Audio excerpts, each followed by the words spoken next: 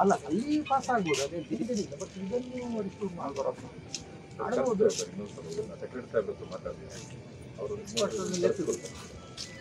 ನಮ್ಮದು ಮಧ್ಯೆ ಆಗಿದ್ದು ಕಷ್ಟ ಸ್ವಲ್ಪ ಸೈಡಲ್ಲಿ ಇರೋದ್ರಿಂದ ನಾವು ಸ್ವಲ್ಪ ಟ್ರೈ ಮಾಡಿದ್ದೀವಿ ಲೈಟ್ ಮೋಟರ್ ಏನಾದ್ರು ಒಂದು ಮಾಡಲಿಕ್ಕೆ ಇದು ನಮಗೆ ಪೂರ್ತಿ ಮಾಡೋದು minimum four months light motor vehicle chance ಇದೆ ನಾವು ಯಾಕ್ಚುಲಿ ಪೂರ ಏನ ಬೆಟ್ಟಿಗೆ ಏನೊಂದು ಫುಲ್ ಮಾಡ್ಕೊಂಡು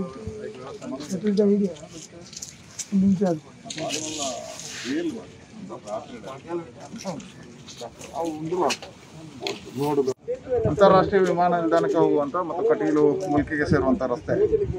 ಈ ರಸ್ತೆಯಲ್ಲಿರ್ತಕ್ಕಂಥ ಮರಬೇರು ಸೇತುವೆ ಸುಮಾರು ಸಾ ಅರವತ್ತೆಂಟನೇ ಇಸ್ವಿಯಲ್ಲಿ ನಿರ್ಮಾಣ ಆಗಿರ್ತಕ್ಕಂಥ ಹಳೆಯ ಸೇತುವೆ. ಹಳೆಯ ಸೇತುವೆಗೆ ಪರ್ಯಾಯವಾಗಿ ಈಗ ಹೊಸ ಸೇತುವೆಯನ್ನ ನಮ್ಮ ಶಾಸಕರಾಗಿರ್ತಕ್ಕಂಥ ಮನೋಜ್ ಕೋಟ್ಯಾನ್ ನೇತೃತ್ವದಲ್ಲಿ ಕಾಮಗಾರಿ ನಡೀತಾ ಇದೆ. ಅದರ ಮಧ್ಯೆ ಇವತ್ತು ಕುಸಿತವನ್ನು ಕಂಡಿದೆ. ಈಗಾಗಲೇ ರಾತ್ರಿ ಕುಸಿತ ಆದ ತಕ್ಷಣ ಶಾಸಕರು ಬಂದು ನಿಂತು ಅದಕ್ಕೆ ಪರಿಹಾರ ಕಾರ್ಯಗಳಿಗೆ ತೊಡಗಿಕೊಂಡಿದ್ದಾರೆ ಯಾವುದೇ ವಿಪತ್ತುಗಳು ಇಲ್ಲದ ರೀತಿಯಲ್ಲಿ, ಪ್ರಾಣಾಪಾಯಗಳಾಗದ ರೀತಿಯಲ್ಲಿ ಕೇವಲ ಕ್ರ್ಯಾಕ್ ಬಂದಿದೆ. ಆದರೆ ಇವತ್ತು ಇಂಜಿನಿಯರ್ಗಳನ್ನು ತಾಂತ್ರಿಕ ಸಲಹೆಗಾರರನ್ನು ತರಿಸಿ ಇದರ ಗುಣಮಟ್ಟ ಏನು ಸಮಸ್ಯೆ ಆಗಿದೆ ಅಂತ ಹೇಳುವಂಥದ್ದು ಪರಿಶೀಲನೆ ಮಾಡಲಾಗುತ್ತೆ. ಮತ್ತು ಪರ್ಯಾಯವಾಗಿರ್ತಕ್ಕಂಥ ವ್ಯವಸ್ಥೆಗಳೇನು ಅಂತ ಈಗ ಜಿಲ್ಲಾಧಿಕಾರಿಗಳು ನಾವು ಕೂತು ಚರ್ಚೆ ಮಾಡಿ ಪರ್ಯಾಯ ವ್ಯವಸ್ಥೆಗಳನ್ನು ಕಲ್ಪಿಸ್ತೀವಿ. ರಾತ್ರಿ ಎರಡೂವರೆ ಗಂಟೆಗೆ ನನಗೆ ಒಂದು ಮಾಹಿತಿ ಬಂತು ಈಗ ಹೇಗೆ ಆಗಿದೆ ಅಂತ. ನಾನು ಕೂಡಲೇ ಇಲ್ಲಿಗೆ ಬಂದೆ.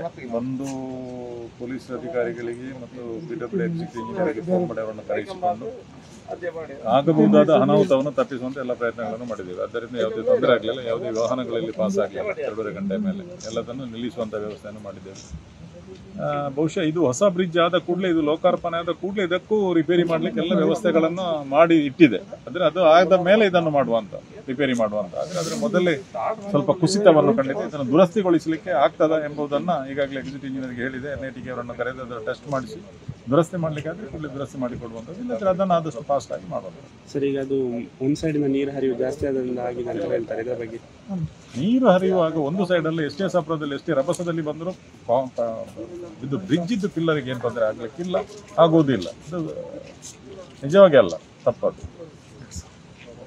ಅಂದ್ರೆ ಈ ಮಳೆ ಇರುವ ಕಾರಣ ಒಂದು ಮುನ್- ಮುನ್ನೆಚ್ಚರಿಕೆ ಕ್ರಮವನ್ನು ಕೊಡಿ ಕೈಗೊಳ್ಳಬಹುದಿತ್ತಲ್ಲ ಅಲ್ಲ ಮುನ್ನೆಚ್ಚರಿಕೆ ಕ್ರಮ ಅಂತ ಹೇಳಿದ್ರೆ ಈಗ ಹೊಸ ಬ್ರಿಡ್ಜ್ ಆಗುವಾಗ ಇದಕ್ಕೂ ಅದಕ್ಕೆ ಏನು ಕನೆಕ್ಷನ್ ಇಲ್ಲ. ಅದು ಸಪರೇಟ್ ಆಗಿ ಆಗ್ತಾ ಇದೆ. ಮತ್ತೆ ನೀರು ಯಾವಾಗಲೂ ಇದು ಹರಿದು ಹೋಗುವಂತ ಸ್ಥಳ. ಅದಂತ ಅಂದ್ರೆ ಒಂದೇ ಕಡೆ ನೀರು ಬಿಡುವುದರಿಂದ ಹೆಚ್ಚಿನ ಇಲ್ಲ ಇಲ್ಲ ಇಲ್ಲ ಇಲ್ಲ. ಆಗಬಾರ್ದು. ಒತ್ತಡ ಆಗಿದೆ ಅಂತ ಇಲ್ಲ, ಇಲ್ಲ. ಸ್ಥಳೀಯರಿಂದ ಇನ್ನೊಂದು ಅಂತ ಹೇಳಿದ್ರೆ ನೀವು ಈಗಾಗಲೇ ಡ್ಯಾಮು ಡ್ಯಾಮಿನಿಂದ ನೀರು ಹೋಗ್ತಾ ಇದೆ. ಡ್ಯಾಮಿನಿಂದ ಒಮ್ಮೆಲೆ ಬಾಯಿ ತೆಗೆದ್ರೆ ಎಲ್ಲ ಹೇಳ್ಬೋದಿತ್ತು. ಇದು ಎಷ್ಟು ಹೋಗ್ತದೆ ಅಷ್ಟೇ ನೀರು ಬೇಕು ಅಂತ ಅದರಲ್ಲಿ ಏನು ಅಂತ ರಭಸ? ಖಂಡಿತವಾಗಿ ನಾನೊಬ್ಬ ಎಂ ಎಲ್ ಎ ಅನ್ನೋದಕ್ಕಿಂತ ನಾನೊಬ್ಬ ಕಾಂಟ್ರಾಕ್ಟರ್ ಆಗಿ ಹೇಳುವುದಿದ್ರೆ ಖಂಡಿತ ಇಲ್ಲ ನೂರಕ್ಕೆ ನೂರು.